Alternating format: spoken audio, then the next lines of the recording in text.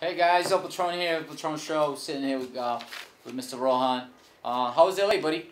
LA was excellent, El Patron. How was Peru? Peru was very rejuvenating and I highly recommend it. Doesn't have to be Peru, uh, but any third world country, um, very, very good. But uh, tell me, you check out anything, any cars over there, any ideas you got? Oh, absolutely. Like, I, I love the LA scene. It, it was definitely, uh, it was highline, it was classic, it was uh, domestic, commercial. It, it just had a different element other than New York. So it, it was a different melting pot, but Great. the the vibe was great. The I'm vibe looking was forward, looking forward for new ideas you bring it into to the table. Oh yeah.